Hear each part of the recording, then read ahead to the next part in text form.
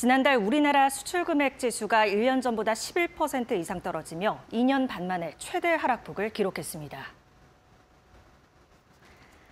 한국은행이 발표한 무역지수 및 교역 조건 통계에 따르면 11월 수출 금액 지수는 1년 전보다 11.3% 하락했습니다.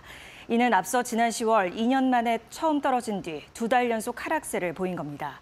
내림폭도 2020년 5월 이후 가장 컸습니다. 한국은행 관계자는 수출 가격 하락세와 전방산업 수요 부진으로 반도체와 화학 제품을 중심으로 수출액이 감소한 영향을 받은 것이라고 설명했습니다. 반면 유가 강세 등과 더불어 수입 금액 지수는 같은 기간 약 3% 올라 교역 조건은 더 악화한 것으로 나타났습니다.